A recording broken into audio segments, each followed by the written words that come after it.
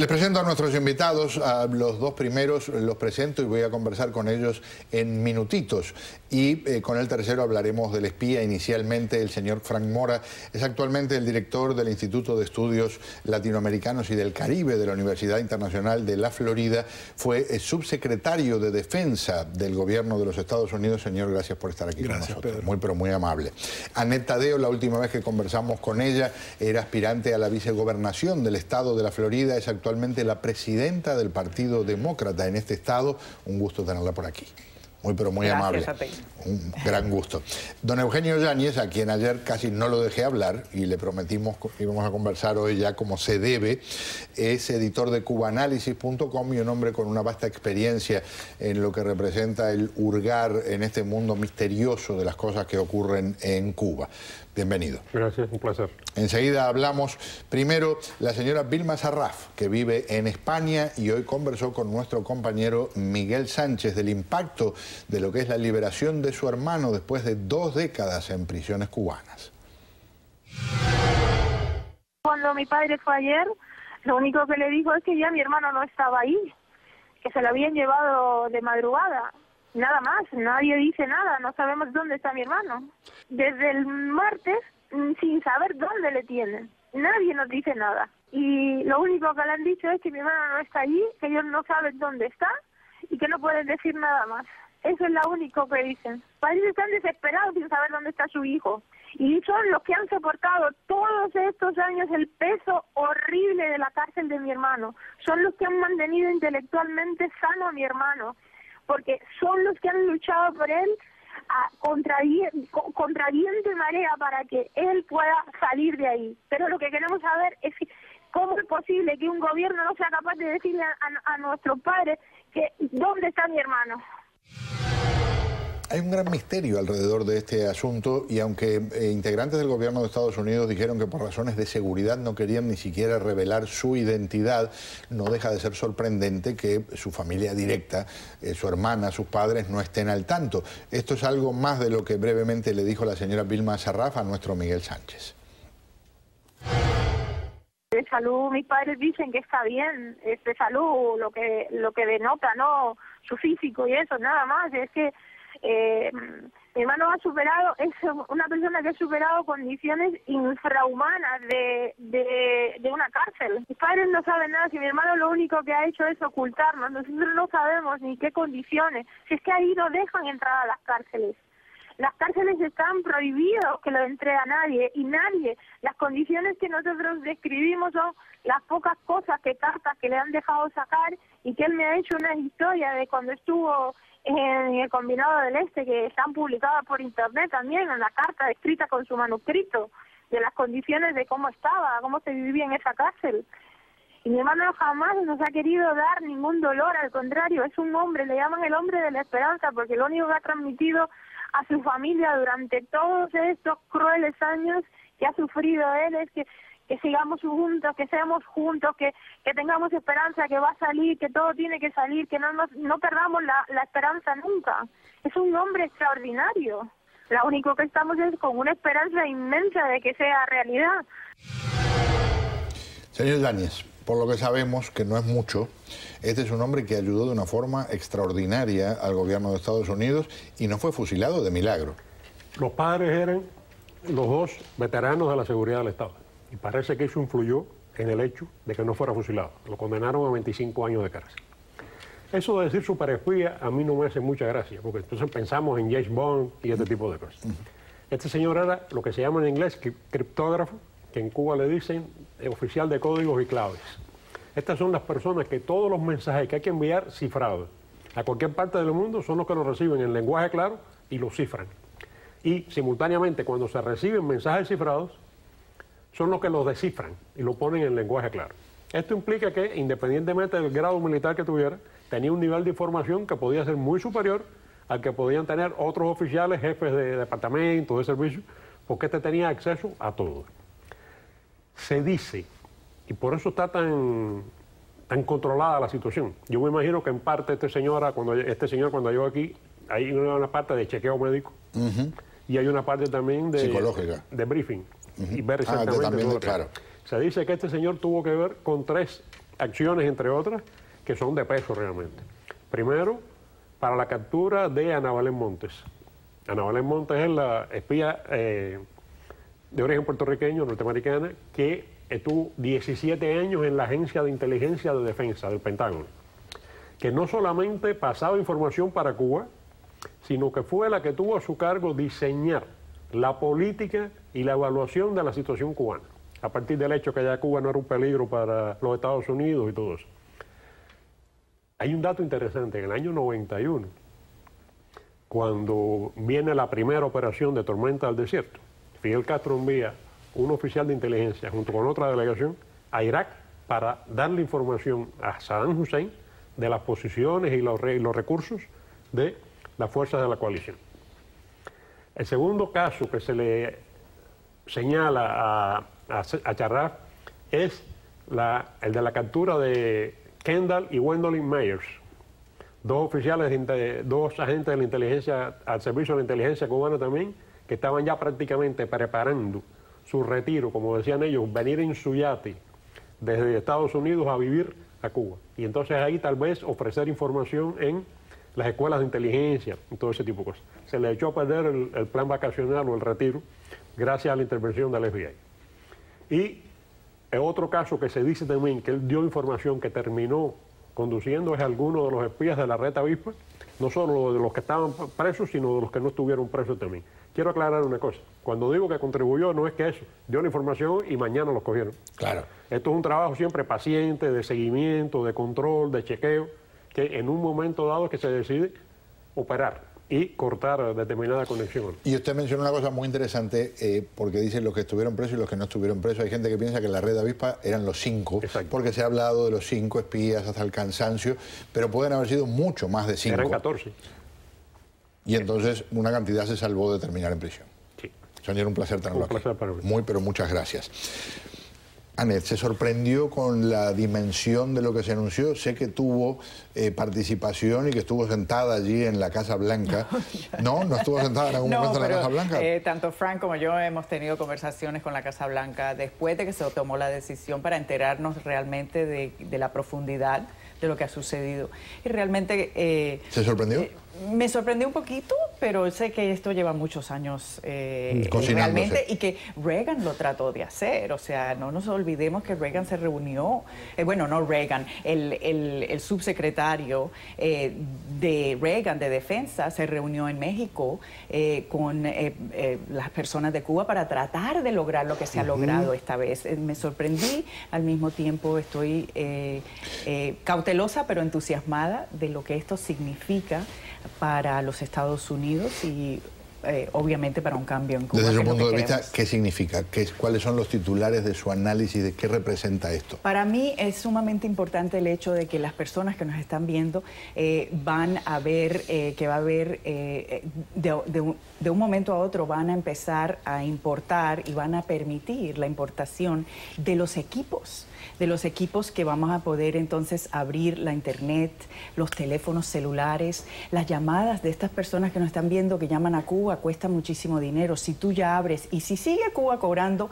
el dinero y quedándose con parte del dinero, bueno, pues eso es eh, eh, Cuba, pero pero no le van a poder echar la culpa a los Estados Unidos ya, porque ya Estados Unidos va a abrir la situación para que eh, tenga más opciones para mandar los paquetes a Cuba, para que tenga más opciones para viajar a Cuba.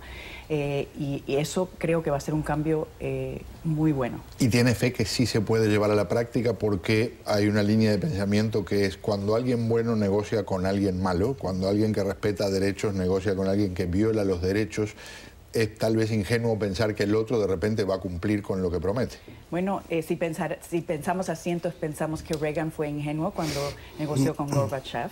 Y pero mira los resultados. Bueno, después de mucho tiempo. Sí tiene, fe, sí tiene fe que es una realidad que esto pueda llevarse a, la práctica. Es parte de lo que nosotros, eh, y, republicanos y demócratas, han hecho en nuestra historia y creo que en muchas eh, oportunidades ha funcionado. Y obviamente la apertura de los Estados Unidos y, del, y de las redes sociales es sumamente importante. Me acuerdo cuando fui a Washington con Joanny Sánchez, eso era lo que ella más pedía. Señor Mora, su reacción inicial. Muy positivo. Yo creo que esto puede tener implicaciones muy importantes, no solo para las relaciones entre Estados Unidos y Cuba, la democracia en Cuba, pero también para la región.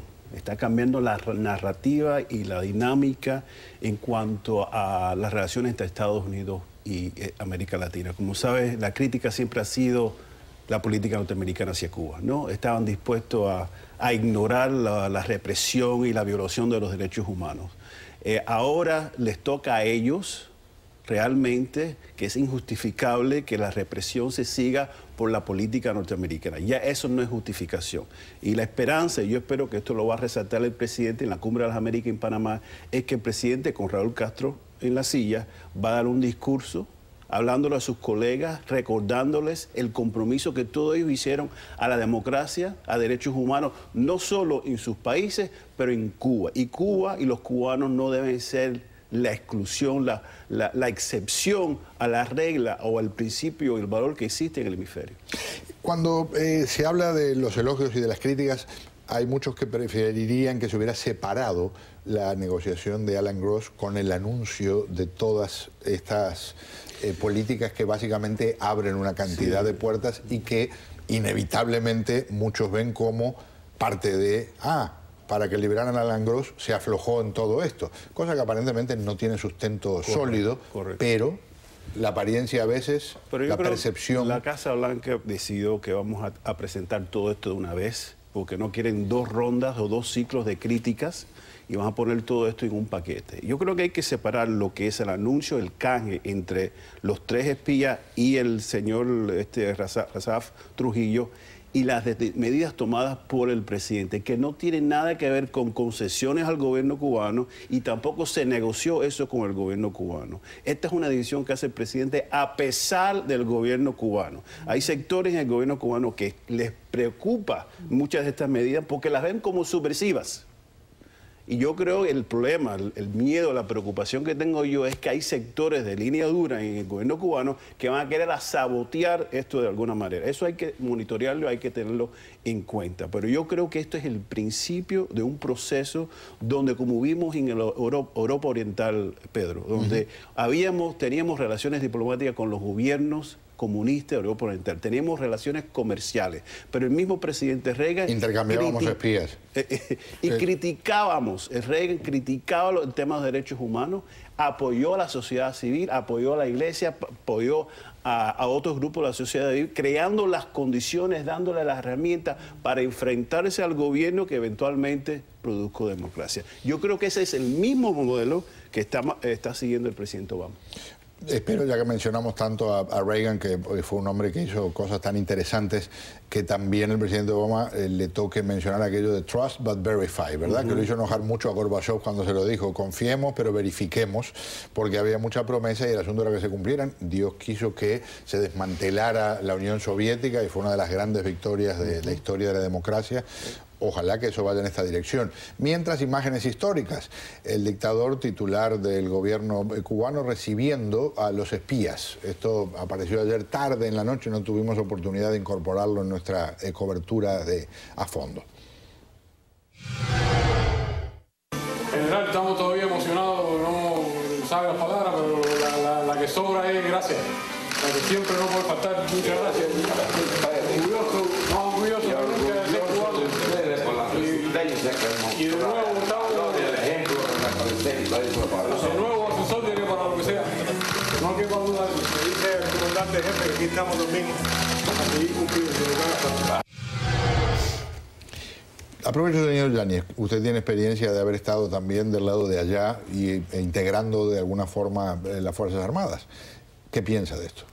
es interesante el discurso de Raúl Castro fue vestido de general de ejército y desde su oficina en el Ministerio de las Fuerzas Armadas. No fue un discurso del presidente en el Palacio de la Revolución. ¿Qué quiere decir eso? Se estaba hablando en su momento de la línea dura en Cuba. Yo creo que ahí tienes una expresión, o por lo menos para tranquilizar para calmar internamente. Hay dos punticos más que creo que son interesantes. Uno, Venezuela. A pesar del enfrentamiento de Maduro en los últimos días, casi personal, con los presidentes de Estados Unidos, amenazándolo con llevarlos a corte y todo, ahora su modelo, que es Raúl y el castrismo, le ha cambiado por completo la situación y yo creo que lo ha dejado un poco, como decimos en Cuba, agarrado de la brocha. Y tercera cosa que me interesaría destacar, a veces nosotros los cubanos somos demasiado apasionados y se habla muy duro sobre la Iglesia Católica en Cuba y el cardenal. Sin embargo, uno de los factores fundamentales en esta negociación fue la que llevó a cabo el Vaticano. Y hace una semana, diez días, estaba en Cuba Tarcisio Bertoni, que había sido secretario de Estado del Vaticano, inaugurando una parroquia en Santa Clara. Y uno decía, ¿qué tiene que hacer el señor Tarcisio Bertoni en Santa Clara en estos días? Una alta figura de la jerarquía del Vaticano. Que también estaba en Cuba casualmente cuando nombraron a Raúl Castro presidente oficialmente de Cuba. O sea, tiene una relación directamente con Raúl. Eso no pasa por gusto. Lo que estoy diciendo simplemente tenemos que ser más realistas y menos apasionados cuando vamos a evaluar las cosas, porque si nos, dejamos llevar por las pasiones terminamos siempre en la posición equivocada. Eh, me decía ayer el senador republicano Marco Rubio Anet que va a bloquear fondos para abrir una embajada, que va a bloquear la nominación de un embajador y recuerdo la época de un señor diferente a Marco Rubio porque era ultra radical como Jesse Helms, el senador de Carolina del Norte, que se pasaba bloqueando embajadores. Pueden hacerlo, o sea que se puede frenar la instrumentación de estos anuncios. Hasta cierto punto, eh, y, creo que él, ha prometido que lo va a hacer, pero, pero, pero también no solamente ha criticado a Obama, ha criticado al Papa. Eh, y, lo, y, la, y, el hecho de que el Vaticano ha sido parte de esto. Eh, creo que en cierta manera todos tenemos sentimientos muy fuertes y honestamente uno no tiene que ser cubano para sentir y ver eso, eso que, que acabas de mostrar. Es muy difícil no sentirse feo, rabia, o sea, yo no sé lo que estaba sintiendo en este momento, es la primera vez que lo veo y no, no me gusta mucho, pero al mismo tiempo eh, tenemos que como que respirar un poquito y pensar un poquito sobre la, eh, la foto más amplia del futuro, del futuro de los Estados mm. Unidos y del futuro eh, de Cuba y la libertad que todos queremos, no nos olvidemos que todos queremos lo mismo aunque en el Pentágono se trabaja para eh, ayudar a que no haya guerra de alguna forma, al mismo tiempo todo el tiempo se están preparando para escenarios en que puede haber guerra.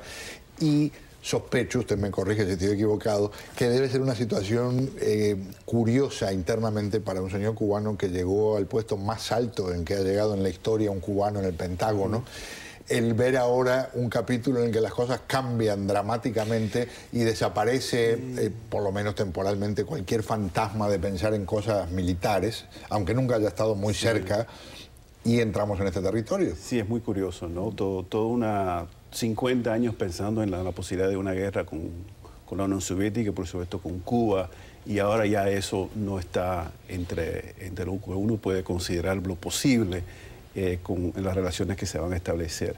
Pero es importante resaltar que el presidente Obama quiere lo mismo que siempre hemos querido, que es la democracia, derechos humanos, libertad de expresión. Eh, está, eh, tiene otra aproximación, tiene otra, otra manera de llegar a cabo esos objetivos. Y eso es lo importante.